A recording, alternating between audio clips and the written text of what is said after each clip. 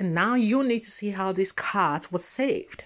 I'm sure the cat must have given up. I'm sure some people who saw the cat must have said, "No, no, no way, no, it's it's over, it's done." But you know what? This cat got saved. I don't know the situation you're in. I don't know if you feel all caught up and all about to be swallowed up. I want to let you know that God sees you. He knows you. He's sending help right now to you in the name of Jesus.